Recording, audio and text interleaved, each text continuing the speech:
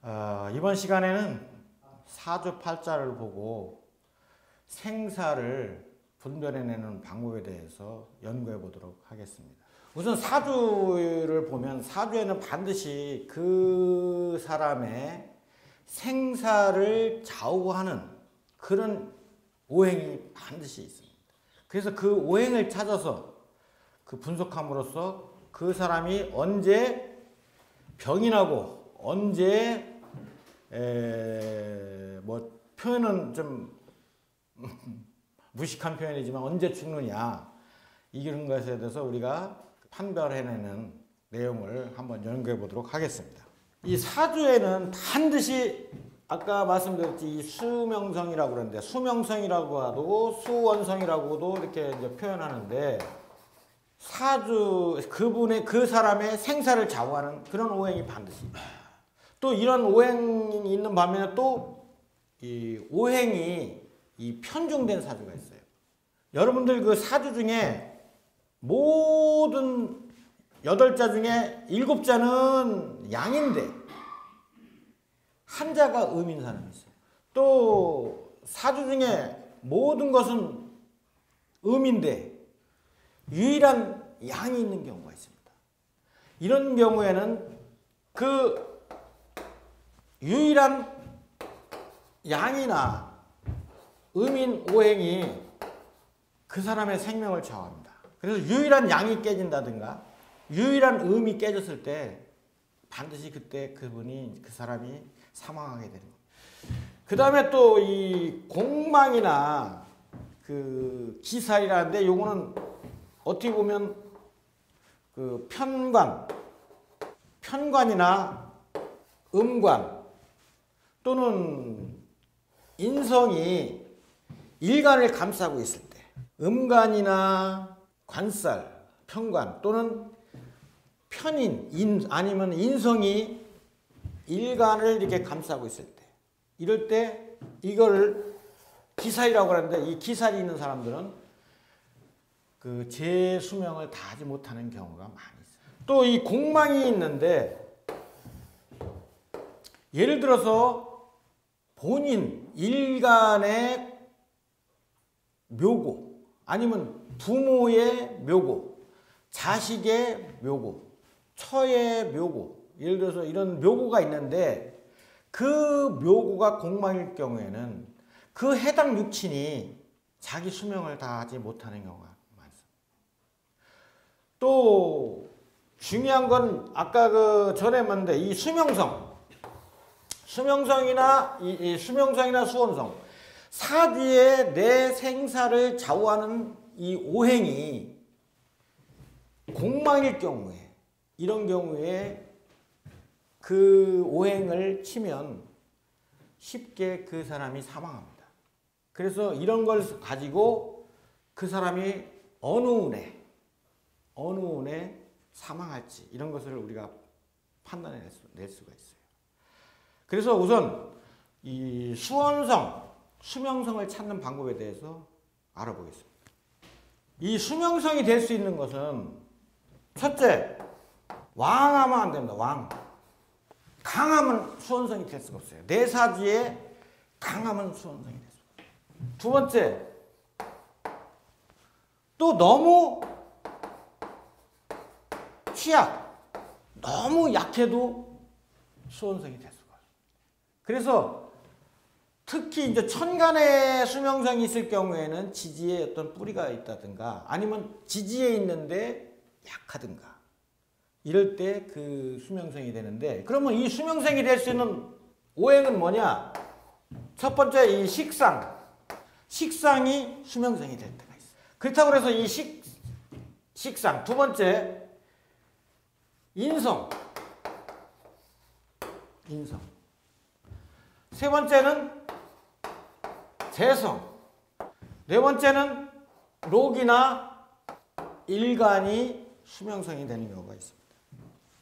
그래서 사주를 보면 식상, 인성, 재성, 록이나 일간을 가지고 이것이 너무 왕한지 아니면 너무 약한지 너무 왕한 거는 제거하고 너무 약한 거는 제거하고 나머지 중에 식상이나 인성이나 재성이나 록이나 일간이 있을 경우에는 그것이 수명성이 됩니다. 그래서 운에서 이 수명성이 결정되면 이 수명성이 운에서 12운성으로 병사지나 절지에 오면 세하기 때문에 이때 세한 운에서 세하게 왔는데 그 수명성을 형충파천이나 이 묘로 때리면 깨지면 그때 사망하게. 그런데 또 여기서 중요한 거는 식상이나 인성이나 재성이나 록이나 일간이 반드시 일간과 가까이 붙어 있어야 돼요. 일간과. 그래서 사주로 보면 일간이 여기 있으면 식상이나 인성이나 재성이나 재성이나 이록 일간은 뭐 여기서 뭐 일간 자체가 되는 거니까 이 록이나 재성이나 인성이나 식상이 적어도 월지나 일지나 시주에 있어야 돼. 월주나 일지나 시주에 있을 때 수명성이 되는 거야. 수명. 예를 들어서 일간이 을목인데 묘가 여기 연주에 있다. 이럴 때는 이 묘는 록이지만 수명성이 될 수가 없어요. 수원성이 될 수가. 반드시 이렇게 붙어 있어야 된다. 일간과 가까이 있을 때 수명성이 된다. 그 다음에 이 수명성은 반드시 왕하거나 너무 약하면 안 된다. 요거만 여러분들이 명심해서 어, 머릿속에 갖고 있으면 이 수명성을 쉽게 찾아요. 그리고 이 수명성이 운에서 병사지나 병사지에 해당될 때 그러면 약해지는 거예요. 수명성이 약해졌는데 그걸 때리면 약한 놈을 때리면 어떻게 됩니까? 그때 사망한다. 그 다음에 그 아까 얘기했지만 이제 오행이 너무 편중돼 있는 또 오행이 편중돼 있는 경우도 있고 일간이 이 연체라는 말인데 연체. 이 연체라는 것은 뭐냐면 일간이 일간이 생하거나